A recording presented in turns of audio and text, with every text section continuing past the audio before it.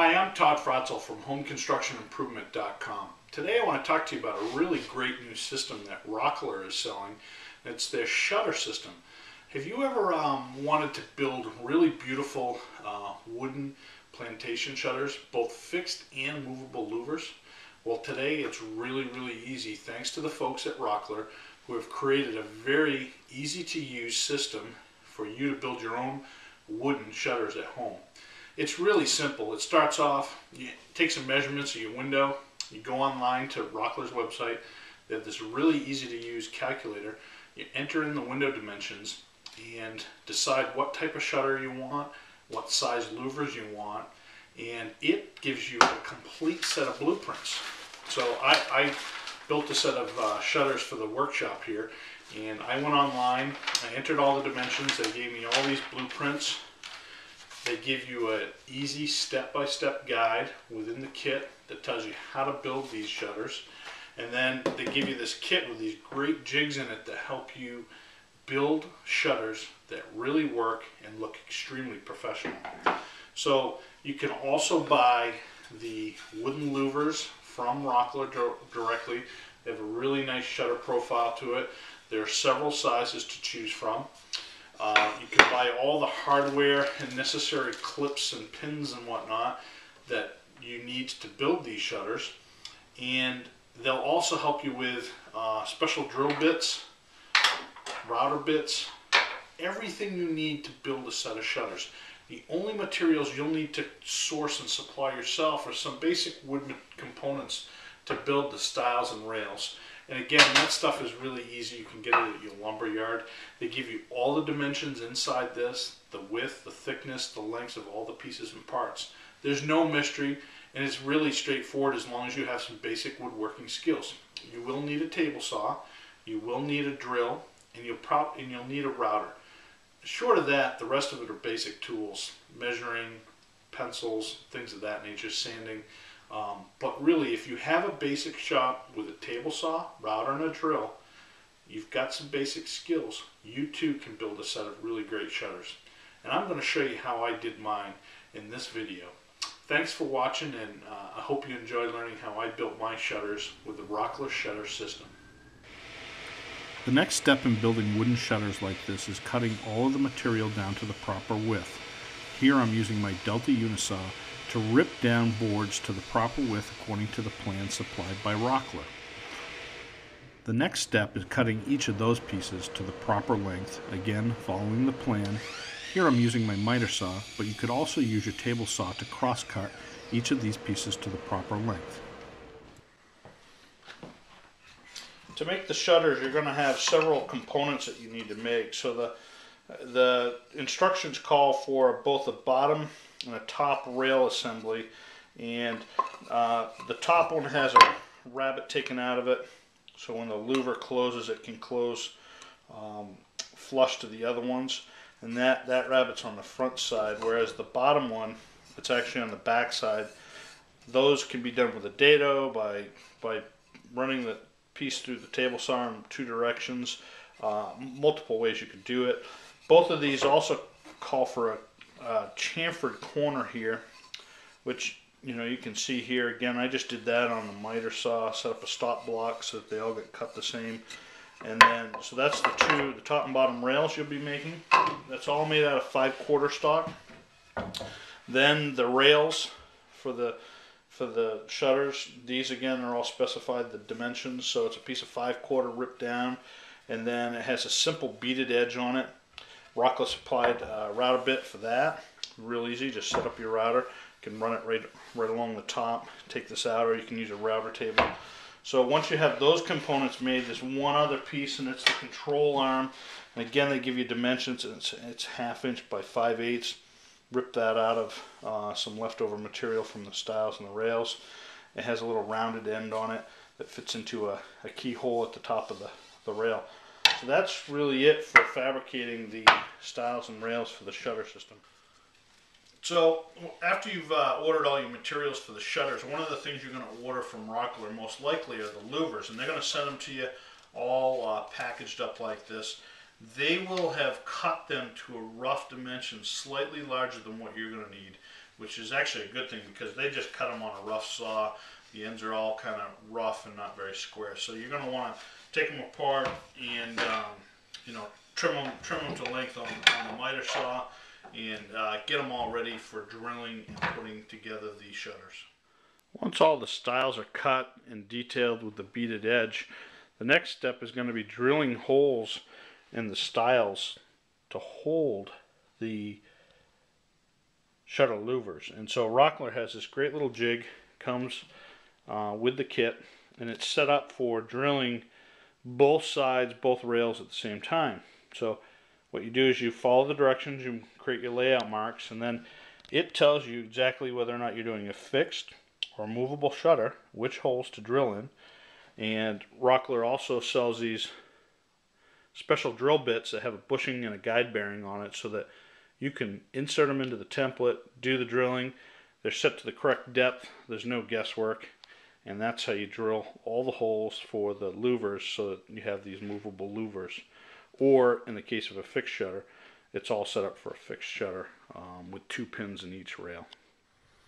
So I'm preparing to drill the holes for the louvers in the side rails for the for the shutter project, and I'm going to use this jig that Rockler's given us. And basically, the way the jig works is they've got this line here that's etched in top of the plastic, and it says there's a little note here, align with top rail. So I've measured the width of my top rail, which is this piece here that I've previously um, fabricated. And it's the total. It's the total width of this without the without the dado in it.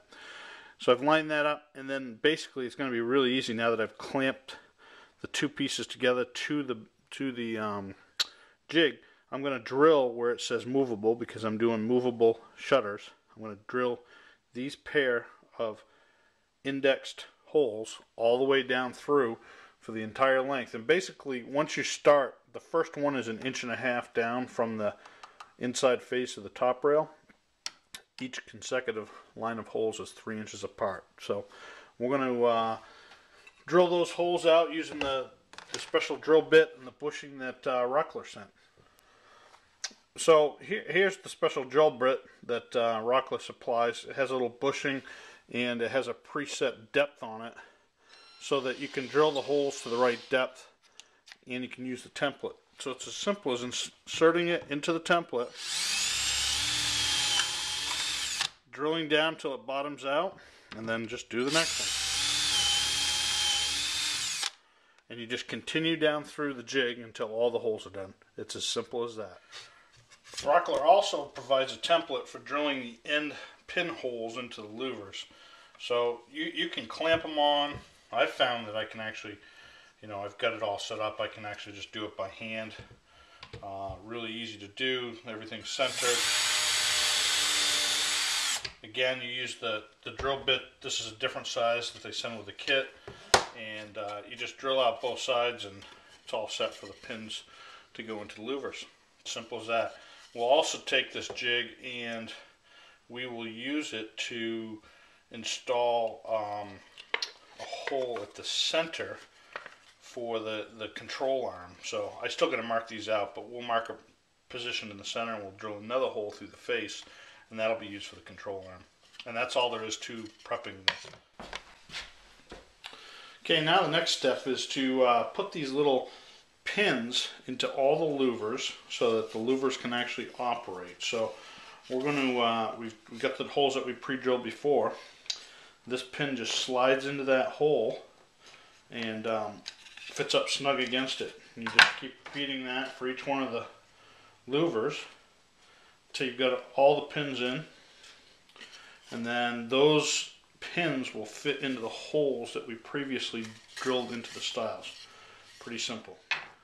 So I'm getting ready to assemble the shutter frame and what I've done, I've decided to use pocket screws to assemble my frame um, especially because it's here in the shop and I don't really mind if no one's going to see the back of the frame. Probably the better thing to do is to use a biscuit or a domino or something like that to join the frames but uh, for me I'm not so worried about anybody seeing back there except for maybe the flies. So what I've done is I've attached the frame on one side only. I've glued it up put my pocket screws in, and I'm going to pull this apart now the other side because the trick here is you've got to stick the louvers in, line up the holes to put the second side of the frame in. It's actually pretty challenging and really the only difficult part of this whole process. So let me get set up and I'll show you kind of how we're going to put this thing together. Okay, so I'm getting ready to assemble this and a couple things to know. I'm assembling this thing upside down because of the way I have to put the pocket screws together. If you're using a biscuit or a domino, you can do this the other direction. So um, the key here is I'm going to get all the, all I'm going to set all the louvers in one side of the frame, the side that I've already attached. I'm going to get them all facing the correct direction. And by that, I just mean that they're all going to lay the same way. The hole for the control arms facing the same way. And we're just going to get this thing kind of mocked up because we, we have to carefully assemble the last rail with the um, with the louvers in place, which can be a little bit of a challenge. So there's a louver there that I'm going to have to redo. So I'm just going to set all these in here and then we'll come right back and, and I'll show you how we're going to put the frame together get this thing all set. Okay, I've got all the louvers laid out into the side of the frame that's already attached and you can see here now I've got all these pins that I'll need to line up inside the holes on this rail at the same time, I need to get everything squared and glued up and screwed together. So, like I said, this is the tricky part, getting this put together. You have to play around with it. You're probably going to swear a couple times, but uh, it can be done. I've done it. And uh, once we do that, then then the frame will will attach the frame. The frame will be uh, we'll let it sit overnight, let the glue dry up, and then we'll work on the control arm last. The last step in assembling the shutters is connecting the control arm to the individual louvers using small barbed wire metal connectors inserted into the previously drilled holes using a pair of pliers. This part of the project was actually quite tedious, and the overall design of it's not all that great. It's my only complaint with this system, and I hope Rockler will find a better solution for future kits. Once the shutters are fully assembled, the only step left is hanging them in the window opening. To do this, I used three small hinges on each shutter and screwed them to the window jambs as indicated on the initial design plans. As you can see, the shutters look great and they fit the opening perfectly. The best part is these shutters actually work. You can operate them up or down to control the amount of light in the room just like a normal plantation shutter you might buy in the store. The shutters are easy to open and close and let additional light in or let air into the room, whatever your preference. But I really think they work great, and these are just as good as any you could buy in the store. Hey guys, I really hope you enjoyed this uh, short little uh, video series that I put together on building wooden shutters using the Rockler uh, wooden shutter building system. Um, it's a great little kit. They have a great service online, get you all the parts, all the little tools you need. Uh, if you're contemplating building wooden plantation style shutters for your home, I highly recommend this system. Again, Rockler, uh, they've got everything you need to help you with the whole process, that all the design measurements, everything you need, they can set you up with, get you the full set of prints and everything. So if you're if you're looking to build some shutters like this and save a few bucks, I really recommend you check out their system. Thanks again for uh, checking out this tutorial. We'll have a lot more here at uh, homeconstructionimprovement.com. I hope you'll come see us again in the future.